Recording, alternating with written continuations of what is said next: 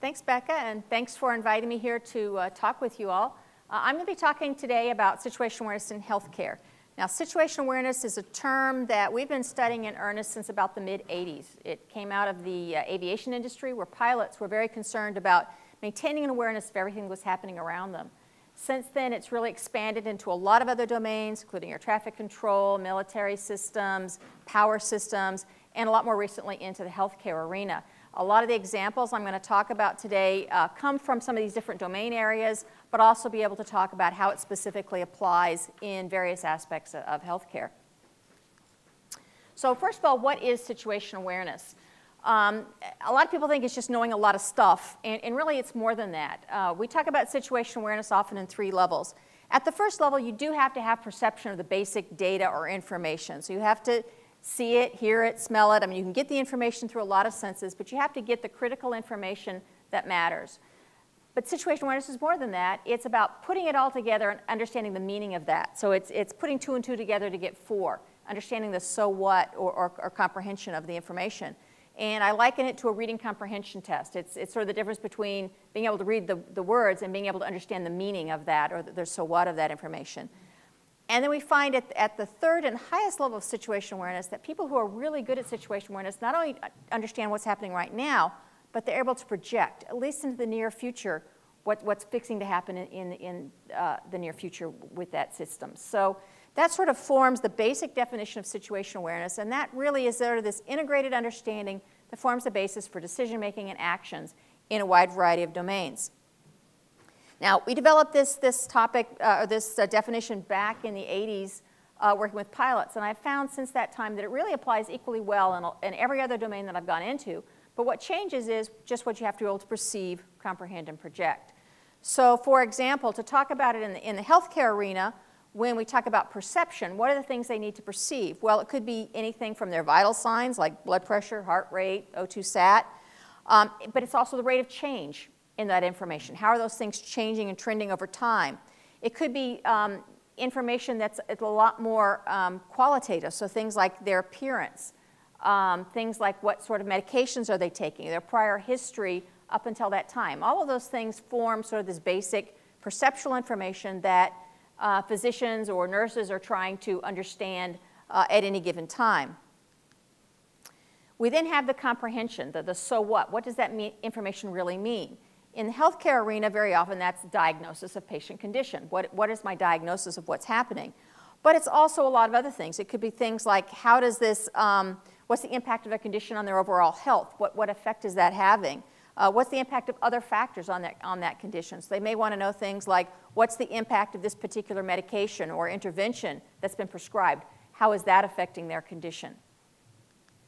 And then projection is what's happening over time. So very often that might be the, the, the prognosis of a disease, but it's also things like projected uh, critical events or what impact um, those actions are having on the disease state and patient state. So you're really looking at this in a very dynamic uh, time sense uh, to understand what's going on with that individual. Now, there are a lot of challenges for situation awareness in the healthcare arena, and I'll hit on just some of them. One of the biggest problems is that it, this is a, an environment where you have inherently very messy data.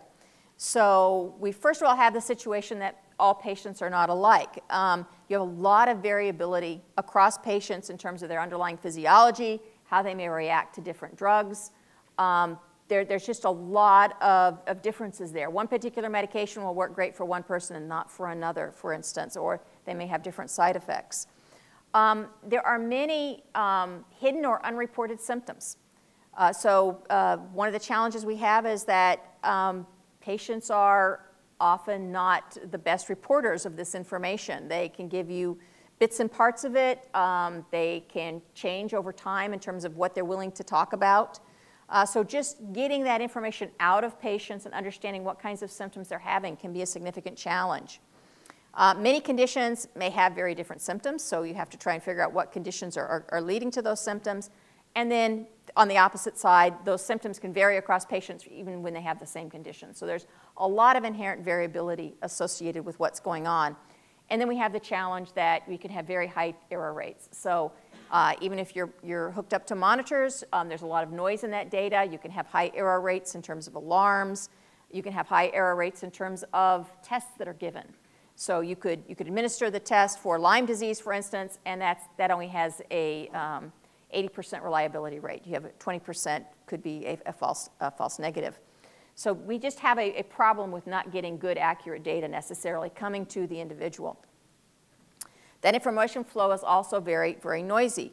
Um, we know we have a, an issue with inconsistent transmission of information across organizations.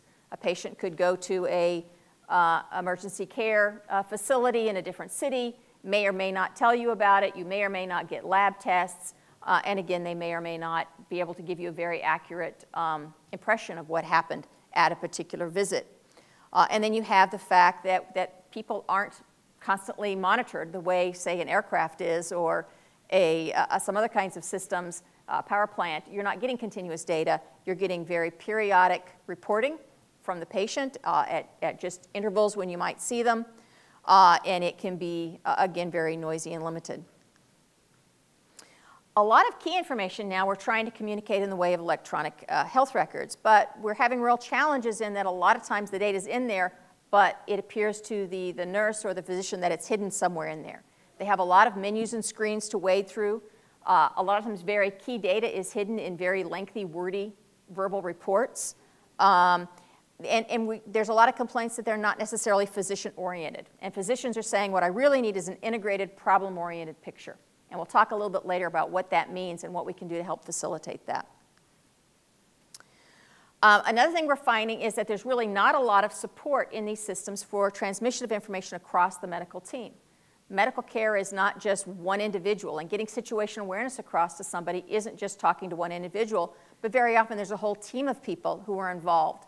And you really need support for transmitting information across the team uh, so that we don't lose that, that shared situation awareness that's needed for supporting decision making in that team. And I'm going to talk about that in a lot more detail as well. And, and a final major challenge here is that uh, this is a system where the whole issue of follow up and feedback is really spotty. So uh, just getting feedback on is the patient um, taking the medication that was prescribed? Is it working out for them? Are they having problems or side effects? Did they even get the prescription filled? That sort of follow up and feedback tends to be very inconsistent and not supported. A patient may go off, a system or a particular intervention didn't work for them, and you may not hear about it for months. So the, the whole issue of, of uh, follow up and feedback is, is we, we found a, a significant problem across the healthcare system. So why do we care about situation awareness? Why does it matter? Well, we've done a lot of studies this in, in different domain areas, and we found that it's one of the key factors associated with accidents and errors in all the domains that we've looked at. So for instance, one study I did looking at situation awareness in commercial uh, air transportation found that 88% of human error was actually problems with situation awareness. So it wasn't that people were bad decision makers. It wasn't that they were unable to carry out actions. Is that they were fundamentally challenged in understanding what was happening in the situation in order to be able to, in order to, be able to act in, in a, uh, timely fashion. Uh, there have been other studies in air traffic control that have found similar issues in the 60 to 70 percent uh, range. Um, a recent study looked at situation awareness in anesthesiology in uh, adverse events uh, in uh, the anesthesi anesthesiology domain, and they found problems with situation awareness in 74% of those cases where they had patient deaths or brain damage in, uh, in an anesthesiology care setting. So it's, it's a significant challenge uh, in a lot of these different domains. And of course, many of you are familiar with the uh, studies that have been done looking at human error in medicine. Uh, it's one of the major causes of death in the healthcare domain and there are a lot of these kinds of problems with poor communication, disconnected reporting systems, poor system design, monitoring failures, problems with automation, inadequate assessments that really all relate to problems with situation awareness. So we know this is a major issue, and we know that it has a major impact on the outcomes in uh, healthcare settings. And this sort of data really drives me to this sort of a picture of the world, and that is if we really want to improve performance and decision making in these environments, let's improve situation awareness. If you can just help people understand what's going on with the situation, uh, physicians, nurses, they're highly trained people. They really care about uh, what they're doing. If you can help them form good pictures of the situation, then you can do a huge amount to really boost their ability to make good decisions and carry out uh, uh effectively in these kinds of environments. So we've really focused on how do we improve situation awareness given all of these challenges that we talked about in order to improve uh, overall uh, decision quality. So backing up a little bit, I'm going to have a few slides here where I'm just going to talk about uh, what we know about situation awareness, how people do situation awareness uh, in the brain, and that's really going to drive the answers to how do we design systems to better support those cognitive processes. So, so bear with me for just a little bit. Um, this is an overall cognitive model of situation awareness uh, that's, that's based on a, a, really integrated view from all the information we know about um, psychology and, and, cognitive psychology and perceptual psychology that's sort of put together in an integrated model uh, that looks at what are all the task and system factors and individual factors that people use to develop good situation awareness and decision making. And I'll, I'll summarize this in, in a couple of slides for you. Basically, what, what happens is there's a lot of data out there in the world that people are perceiving, comprehending, and projecting. And if you're just trying to do that in a straight line fashion, it doesn't work very well, quite frankly. Uh, and this is what you see with novices in any different domain, is they're struggling to put together all the pieces and figure out what they should be looking at and integrate that all mentally. And, and it's a very slow process. Uh, and we see this in domain after domain after domain. What happens is with experience and expertise, you develop some uh, cognitive models, uh, mental models, if you will, of that domain that help you do this much more effectively.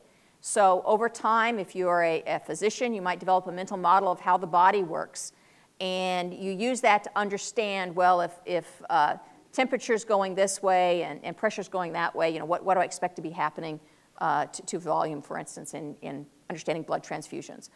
Um, if you're uh, looking at mental models of diseases, you understand how diseases progress in, in a particular body system. Those mental models are what really allows you to do comprehension and projection. If you're, you're sitting here trying to do, figure it all from scratch, you're never going to get there having good, well-developed mental models is essentially what you learn over time. Whether you're a pilot in an airplane or a physician in an office or an air traffic controller, it's understanding a mental model of, of whatever system it is you're working with. Those systems can be physical systems, but they're also organizational systems. So for instance, you might learn a mental model of how healthcare works in your particular organization. Um, and those sorts of mental models are also appropriate for understanding how things work and what you need to do.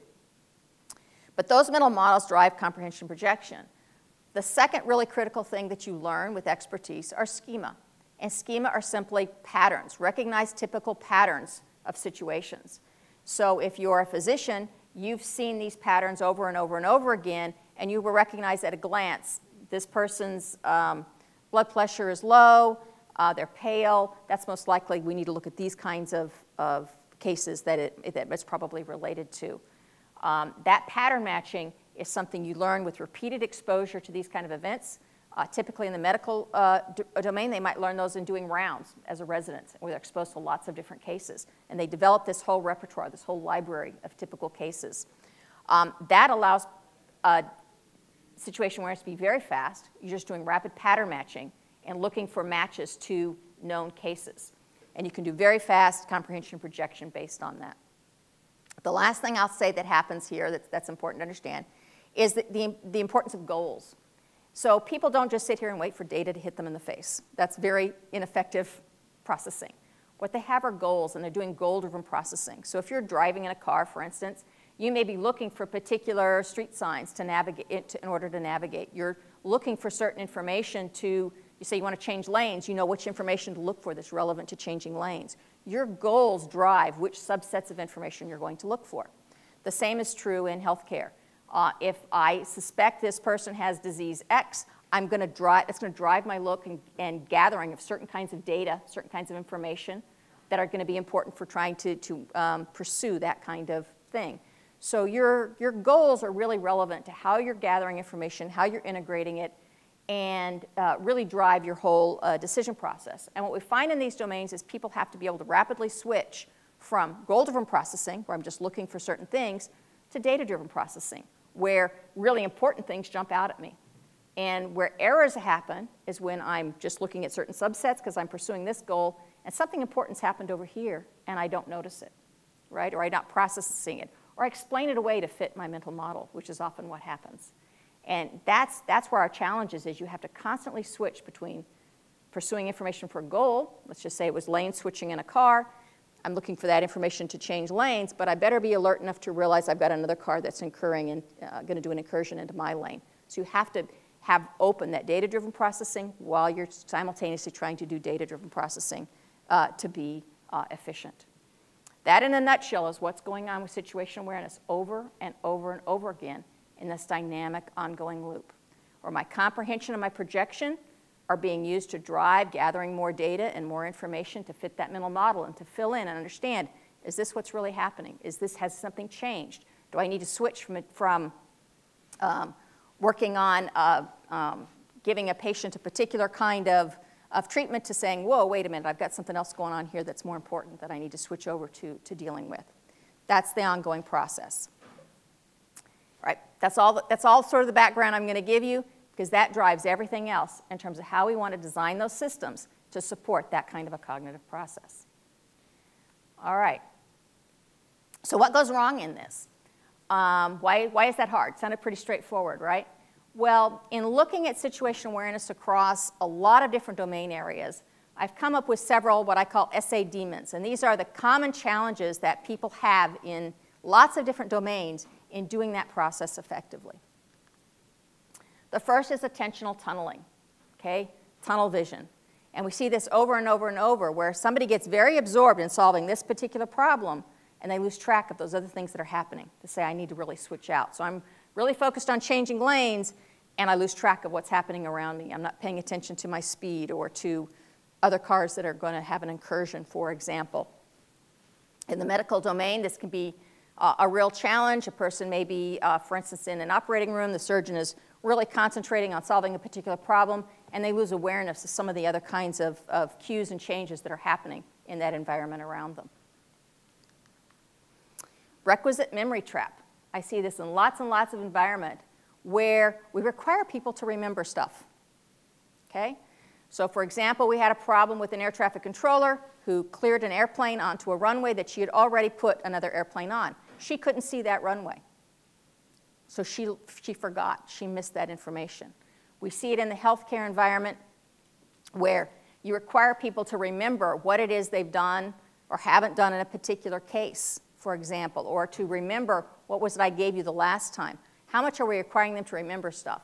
People aren't good at that. They're good at a lot of things, but short-term memory, remembering over time, not nearly as good at. So we need to really simplify systems so we're not requiring people to remember things. Computers are great at that. What I call WAFOs, workload fatigue and other stressors. So one of the things that happens is we've got limited working memory for integrating and processing information. People only have so much room to do that in. And when you're under high workload, when you're under stress, when you're, under, when you're fatigued, that working memory essentially gets reduced because part of it gets used up in dealing with the stressor. So what do we do in, in medical care? How, many, how long of uh, um, terms do we have people working? You know, 10 hour, 12 hour, 14 hour, 24 hour shifts? All we're doing is introducing stress and you're increasing the likelihood that people are gonna make errors because they've got less, less working memory in order to integrate information. They've got less working memory to remember things that they have done or needs to do. Those sorts of things uh, introduce natural error into that uh, system. So we need to, even more so in these kinds of environments, protect that limited working memory for integrating information. The fourth one I call misplaced salience, and this is the Las Vegas Strip phenomenon. Have you ever driven around the road in Las Vegas and you've got flashing lights and bright colors and everything's vying for your attention, right? you see this a lot if you go out onto the internet and you've got you know, little symbols that are jumping up and down and you've got alerts going off and all kinds of things happening. All of those things are grabbing your attention. Okay, that makes it really hard to do efficient information integration because while I'm trying to do it, all these things are fighting for my attention.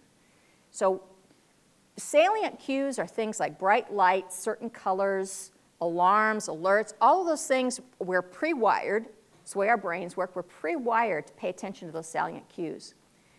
Instead of using every color in the rainbow on your screen, we need to use things like color and motion really, really carefully so that they're only used for really, really important information.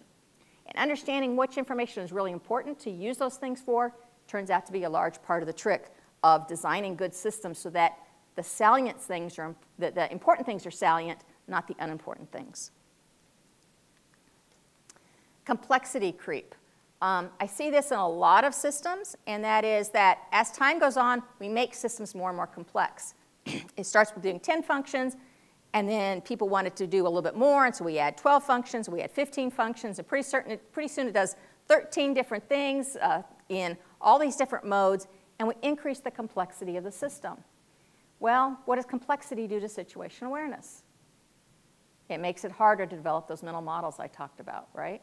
So it's very complex. We find that people actually only know how to use even certain subsets of it. They can't find what they're looking for. They don't understand what it's going to do in a particular situation. That complexity actually works against situation awareness. So keeping it simple actually is, is much better for supporting situation awareness and decision making. The next one is errant mental models. And we see this a lot where people mismatch what they think is happening to their mental model of what's going on. Uh, there's, there's a large uh, amount of this that happens in the medical care arena where you get an early diagnosis of something, and that wrong mental model then is used to interpret all the remaining cues and information that you get. And so people will um, keep fitting that data to the wrong mental model. And even though it should have alerted them that diagnosis A wasn't really right, it should be diagnosis B, they'll stick with diagnosis A for a long time because they've gotten this wrong mental model from early initial information. so that can be a significant problem.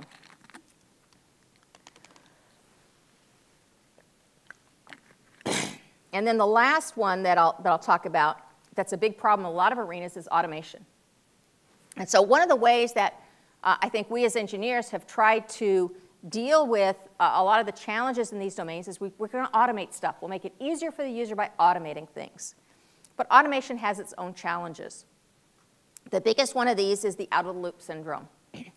and so we have a large history now of uh, data that's showing that when you automate things, people get out of the loop. They lose situation awareness of what's happening.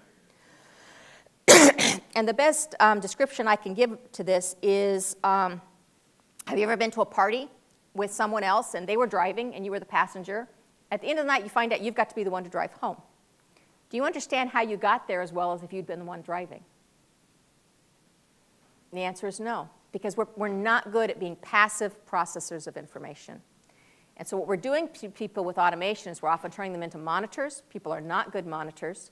And we're not, we, we don't have as good understanding of what's going on when we're just passively processing and watching. Even if we're watching very carefully, by, by going from being active pro information processors to passive processors, we've essentially become passengers in that vehicle, if you will. So this is one of the big challenges with automation, and I can talk more about that later. But we know that just trying to, we can't just automate our way out of this problem. and we have to look very carefully at how we use automation in these systems.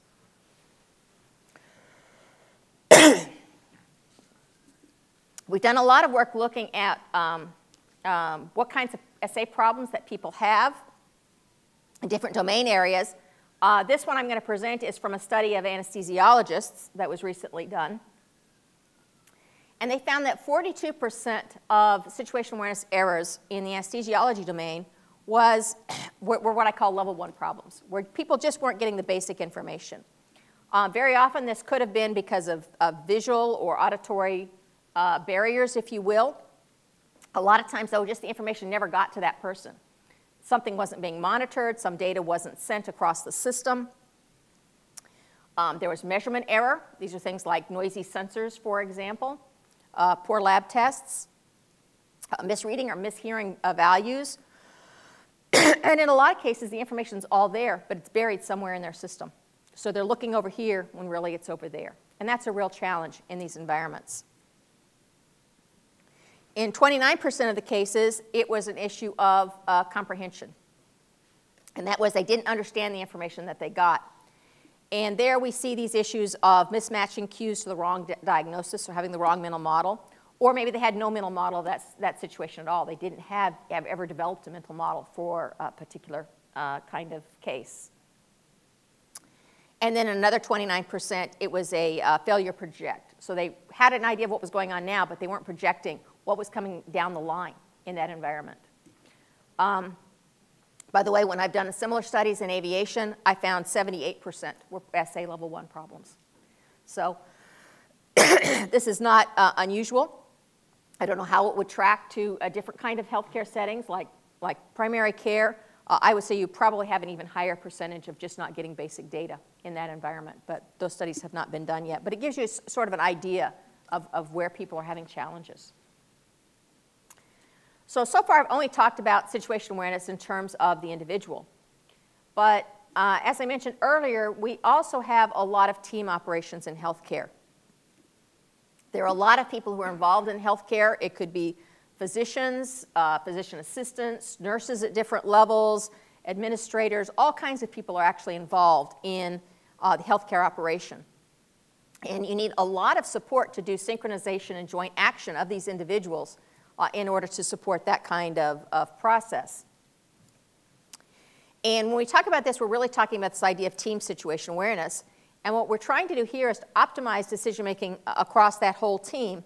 Uh, and sometimes, these, sometimes it might be within a team, let's say within a particular healthcare setting.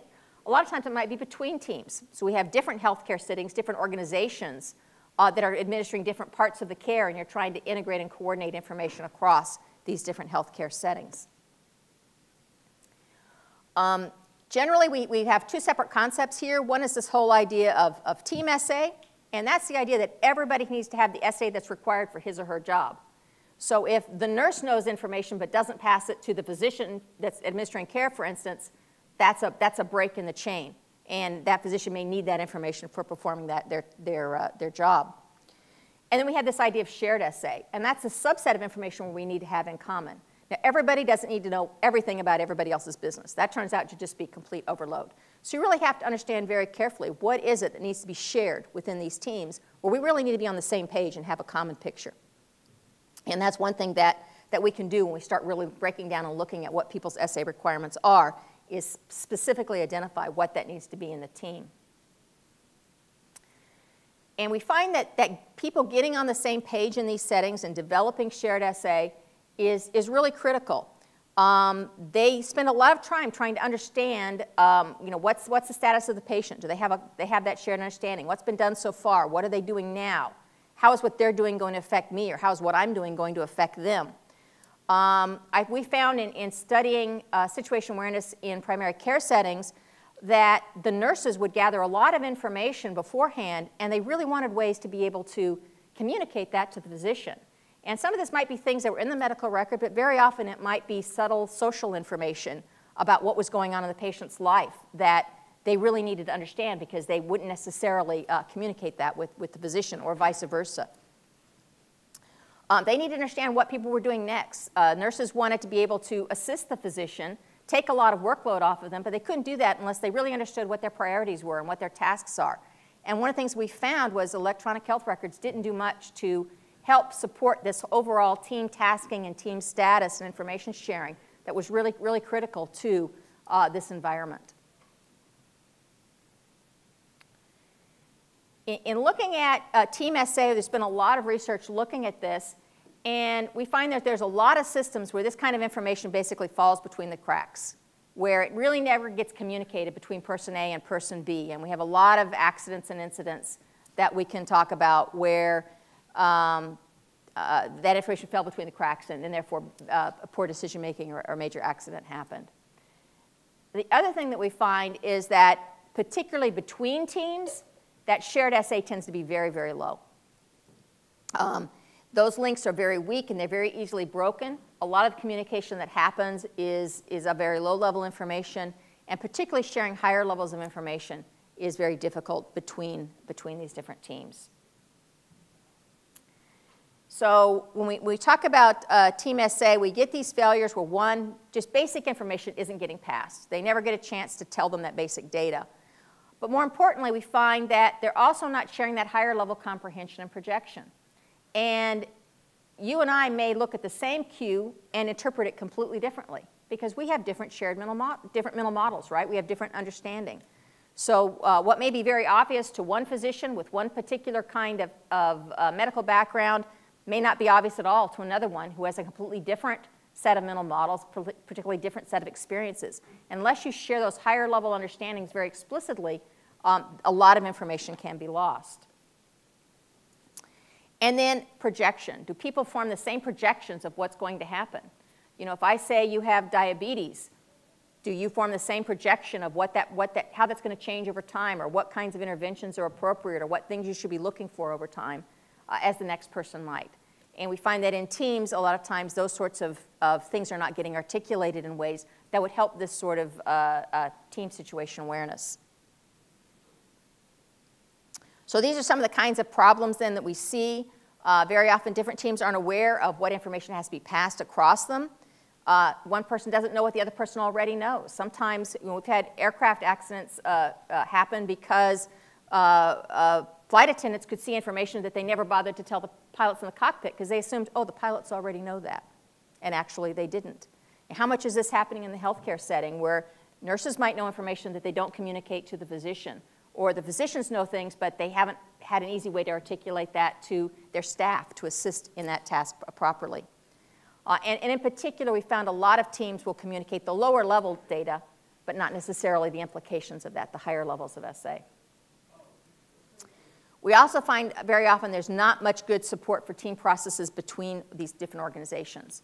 They have very few, uh, few shared devices. So right now, my electronic health record is in my organization, and yours is in your organization, and getting uh, interop uh, interoperability, sharing of information across those systems is still pretty limited in a lot of these um, different uh, kinds of uh, settings. Um, shared displays are often inadequate. So even within my, my team, my system may not be supporting shared SA between me and the rest of my team that's providing healthcare to the same patient, even within my organization. And then we find that in many of these settings, the culture may not support direct communication. The physician may be like, I'm busy, don't bother me and the nurses are afraid to go and tell them this stuff verbally, for instance, or they may not have opportunities for communication because the physician's bouncing between rooms so quickly. Uh, they're trying to you know, lay in wait to catch them uh, while they're trying to do their other tasks. So these are real opportunities where I think the, uh, the, the, electronic health record can help in supporting these kinds of, of communications that need to occur. Uh, and then, of course, uh, it may get interpreted differently. And one of the things you have to do with this is you have to be sure to make explicit in the health record what these implications are in terms of, of comprehension and projection. And that's one of the things that we recommend in the design site. Okay, so that's sort of some of the background information on SA. Let's talk about what does this mean for the design of systems and how we try to improve situation awareness uh, through electronic health records. Right now we have a challenge of, of data overload.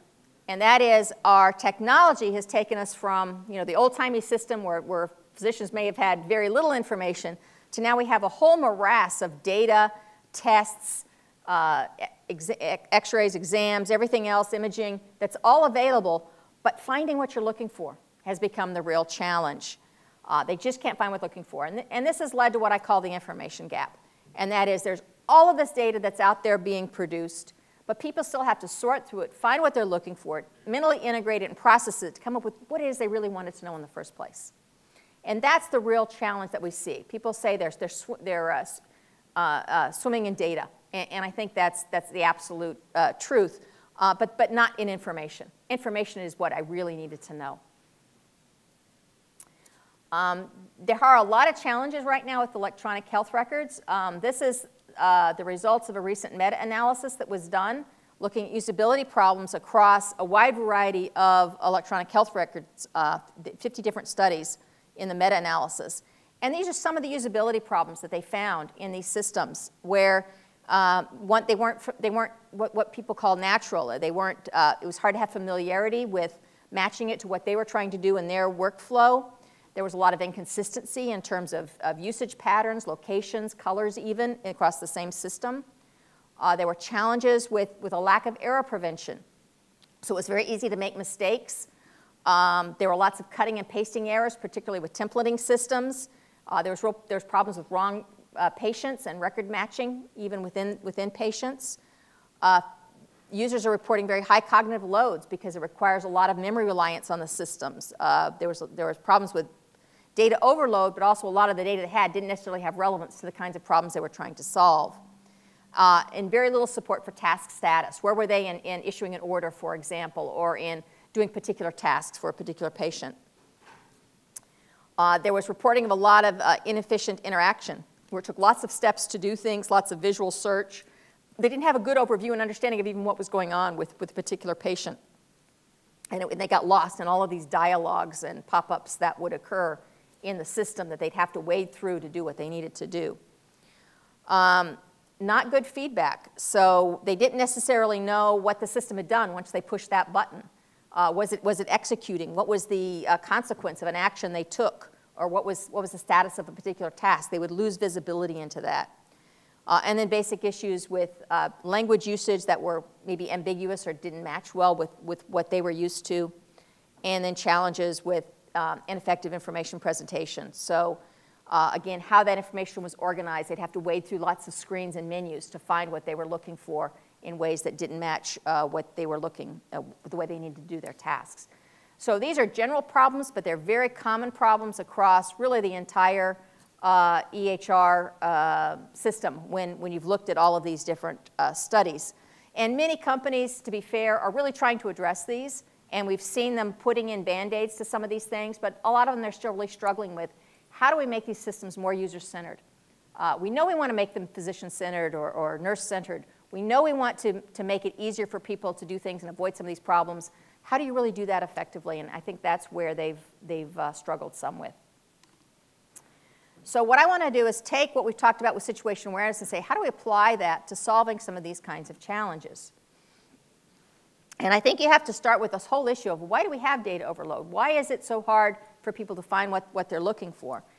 And the basic reason that I found in, in domain after domain is that we've we've got all of these systems now for, for gathering data. We have new tests here, we have new imaging places, we have all of these different ways and techniques for gathering data, and that's just growing as we see patients be able to do a lot of at-home monitoring, for example. We're going to be adding in lots more data. And what we've done is we've, we've, just sort of added that all together, and we expect the user to be the one who integrates and understands how that applies to a particular problem. And that's just, this, this let the user figure it out has just really mentally overloaded them. Okay? They, they can't necessarily do that. Right now, physicians are reporting on average 15 hours a week spent after hours just trying to maintain uh, the, the uh, electronic health record and the documentation that they have to do. And they're, they're really complaining of burnout and overload. Uh, that's not a situation that has to exist. We can do a lot to avoid these kinds of problems. Uh, because if you just sort of add it all together and say, let the user do it, people can't. We just end up with what we call human error uh, or medical error and bad outcomes uh, from doing that. Because people can really only adapt so far. So what, where I'm advocating here is more of a user-centered design philosophy. And that design, design philosophy says, let's take all that data that's out there, we're bringing it all together and integrating it, but we have to put it together in a way that basically integrates it around what they're trying to do, which is their situation awareness. Let's help them form integrated pictures of the situation that map to their their goals and their mental models that they're trying to build. And if we can do that, if we can integrate it around the needs of the decision maker, they can very rapidly understand what's happening with the situation and move on to the things that they're trained in, which is how to make good medical decisions based on an understanding of what's going on. That has a lot of benefits. One, it's much more rapid. We've done a lot of that mental integration for them. Uh, they're going to be much better at doing that whole decision making process because they're not digging around trying to find things or getting lost in screens and you get better, you get better outcomes, better productivity. It's faster, you reduce a lot of that um, overhead time. And actually, your users are much happier with a system like that because they're there to, to present care to the, uh, the patients. They don't want to be lost in, in using technology. Nice philosophy, how, how do we get there?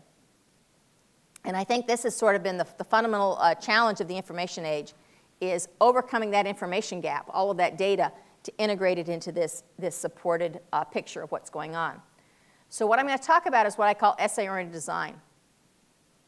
And SA-oriented design really caps a lot of other design guidance that's out there. So we have the whole human factors uh, research base, which is, has been around for 60 years, that understands you know, things like knobs and dials and visual pres information presentation. We know a lot about ergonomics, the physical fit of the system, and then we have a lot of data now in, in human-computer interaction, which are, are, good ways of applying this in a, in a computer interface.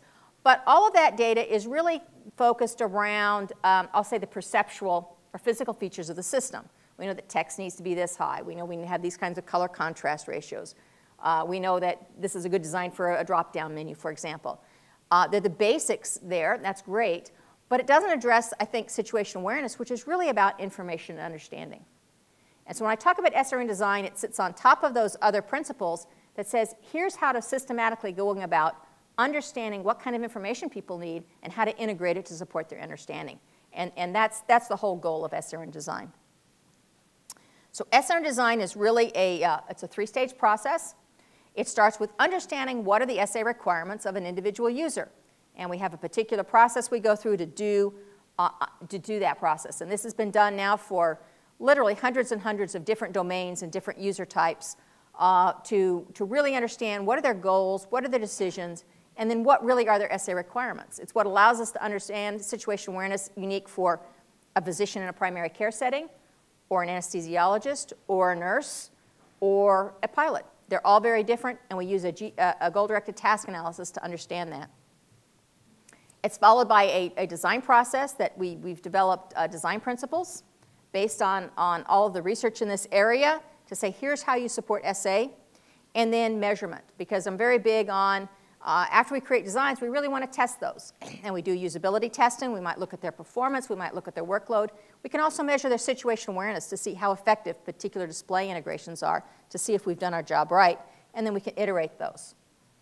I'm going to talk about each one of these stages. So to start with um, is the, the GDTA, the Goal-Directed Task Analysis. And uh, because goals are really central to how people integrate information, we start with an overall goal structure for a particular individual. this one was done for the Centers for Disease Control, where we were looking at SA monitoring across the public health system.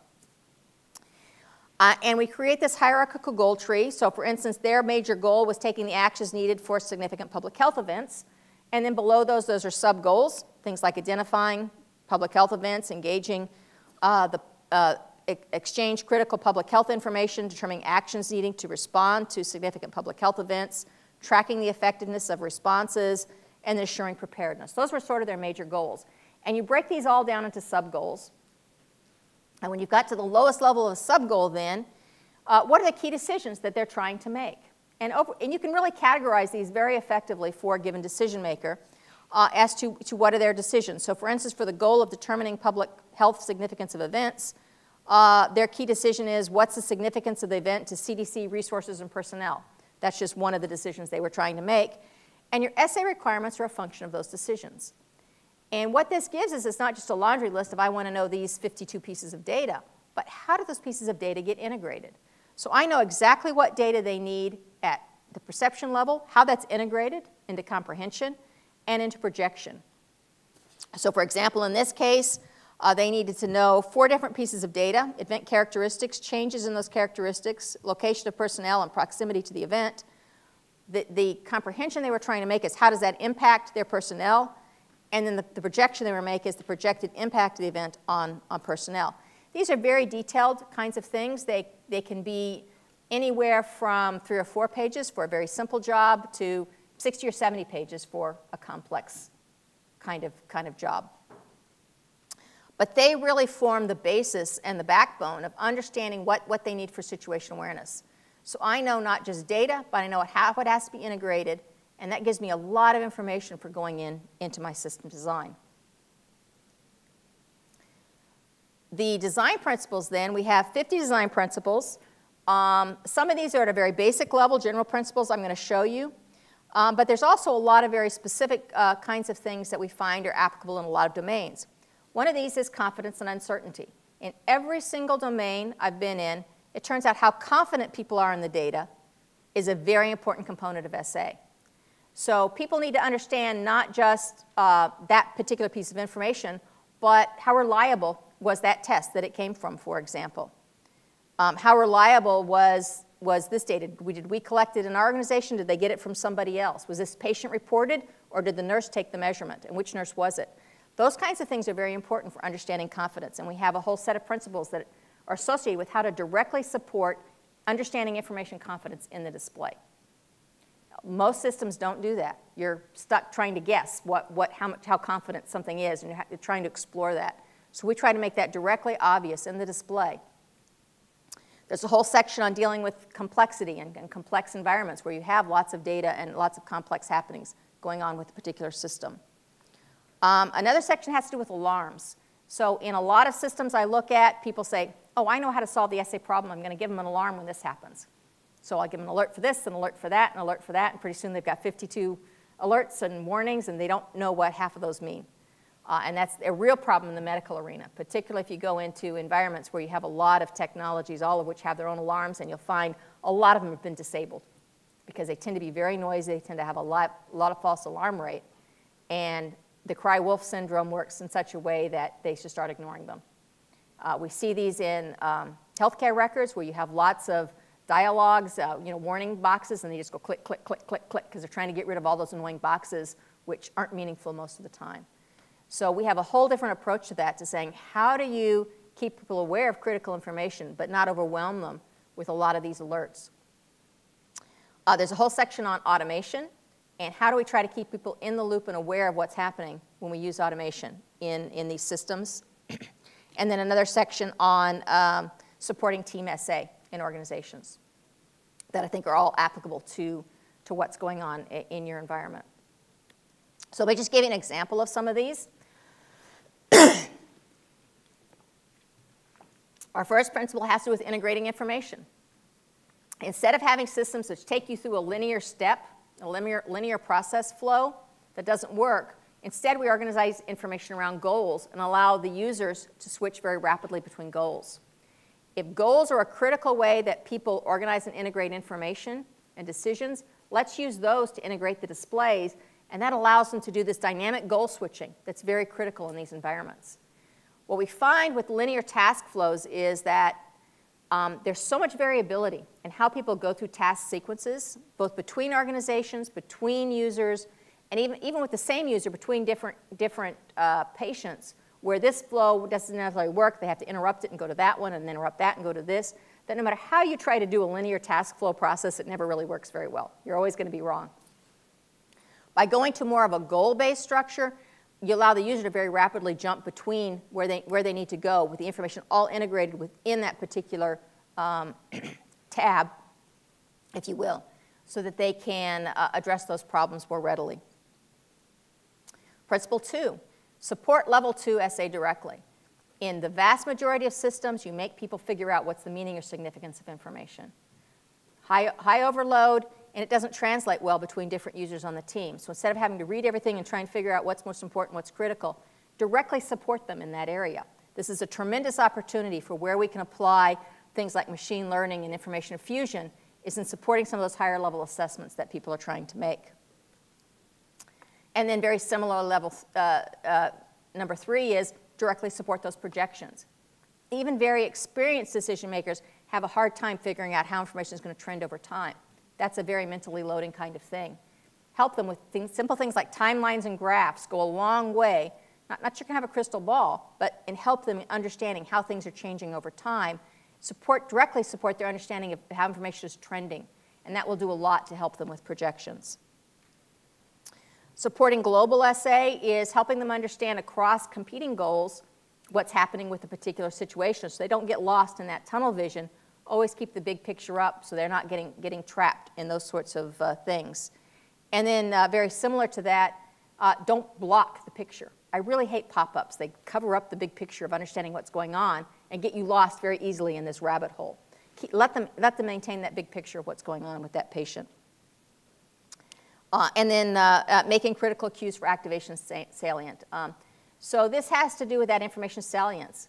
Uh, I actually advocate using fairly uh, uh, bland colors in the display so that really important things are, are, mapped to colors because that's something that the eye really triggers on. So something that's, that's critical is, is red and it really pops out of the display. Something that's really good is green and you can really tell that at a glance. Um, we really look for inf understanding information at a glance when you look at a display. You shouldn't have to spend you know, a long time wading through it to mentally process information. Um, let me just give you an example of this. So for that CDC example, we went from our GDTA to directly map into what a integrated display might, might look like. Uh, this was a graphical information, uh, graphical uh, representation of events. And you can see, let's see if I, does this work? Well, I can't, I don't have a pointer. But you can see that um, you, on the graph, you can see critical events that are happening that they were trying to track and what their status is uh, in that geographical display. Um, they had a table that let them look at uh, understanding those, those events and the key information regarding it. One of the things that we found in doing this analysis was there were really six things they cared about in displays, in, uh, in situations that they were trying to analyze. And that was how a particular event was impacting uh, the health of the community, how it was impacting on the CDC personnel, how it was impacting the media. So, for, for example, um, uh, whether or not vaccines cause autism wasn't actually having a health event, but it was having a major media event, for example um, how it's affecting security, how it's affecting um, politics, and how it was affecting infrastructure, things like transportation. And that's what they really wanted to know at a glance. And the, the uh, public health environment is such that um, they have lots of epidemiologists who might be specialized in particular diseases, but to have the head of the CDC understand at a glance what was happening, who didn't necessarily have all of those different specialties, it allowed you to combine the information and understanding across lots of different uh, specialists of what was really going on with a particular kind of event. So that was a, a very useful structure in, in, this particular case for getting that level two SA across. And uh, you could very easily click between different views of information. So this was a geographical view. They could also look at graphical views and timeline views uh, of the information. So this is what I mean by an overview uh, kind of display. Um, but mapping back to the, the GDTA, uh, the goal-directed task analysis, you could also see the detailed levels that went, that went behind that. So the, uh, in this case, uh, up in the corner, the uh, healthcare event is red, so we know it's critical. Here's all the data that goes into understanding why it's critical and, and all integrated in one place of the information they needed to know. Uh, and these were roll up, roll down, so you could manage uh, lots of uh, data in ways that were very simple and intuitive. You weren't having to page through screens, which people are really uh, loath to do to understand what was going on with, with the details for any particular event. Um, this is uh, showing how we were getting comprehension. You could, again, you could see those criticality areas. Uh, and these, the criticality of these different events and how they, how they looked at. You could look at them in different areas. And we had, these were very flexible. And this is ways in which you provide flexibility for the user uh, because users want to be able to explore the data, and understand the data in different ways, so they could do things like uh, map against different terrain features, weather, infrastructure, population bases, and they could see the data in, in creative different ways to really explore and understand what was happening uh, with situations. And then here, uh, this is looking sort of at that projection level where they could see what was happening with trends over time. Uh, so they could see, and they needed to see this not, again, as just a graph, for instance, but what were relative events against that graph? So if you have a graph of blood pressure, let's just say, what were relative events in terms of here's where we were giving this medication, here's where we are giving that medication, or here's where this happened or that happened. You need to be able to map in relevant events to, under, to really be able to comprehend the significance of these kinds of data that you're looking at. Uh, in this example, you can see some of those events and what they really need to know are, are things getting better or getting worse. And you can tell that at a glance as well as dig down into the data. So that's just an example of uh, one case where we did this. I've got another example here. I've currently been working with the University of Wisconsin at Madison on a, a project in the primary care setting looking at how do we apply SA-oriented design to better design electronic health records. Uh, this is a project sponsored by the uh, AHRQ. And uh, they spent a lot of time going in and doing these goal-directed task analysis with different kinds of primary care organizations and came up with a, a, a fairly good uh, goal structure. Um, and they did this for physicians, they did this for nurses, um, they did it for physician assistants and um, uh, different levels of, of, nurses. So there was like four or five different users types that they that did these analyses for. But you looked at what was their overall goal. In this case, it was developing high quality, team-based, patient-centered uh, care efficiently and then what are their sub-goals? Everything from understanding the current state of the patient and the patient issues, developing the care plan, uh, coordinating, communicating to provide care, establishing a trusting relationship and building rapport with patients, and completing need, uh, needed administrative uh, work. And this is how they were really thinking about that. And then broken down below that are our different uh, sub-goals. So um, I'm going to show you some basic wireframes, but for example, one of the goals that we found across the, the, the physician uh, uh, and, and uh, primary care setting was this whole idea of building trust and rapport with the patients.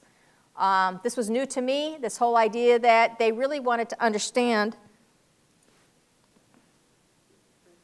Okay. They really wanted to understand um, the, the patient uh, at, at, a, at, a, deeper level, not just their um, symptoms, not just their diseases, but what was their socioeconomic environment, what was their lifestyle. And at a glance, you can tell where critical problems were. We used a blue flag to indicate new information. So something was new was you know, she fell on the stairs uh, that they needed to really redirect their attention to. And by using color coding, you could tell exactly where they needed to be able to focus attention. We had another stat, uh, goal, which was tracking functional status in the care plan. Instead of having to dig through lots of reports, we're mapping this data across the timeline so that you can see how things were changing over time.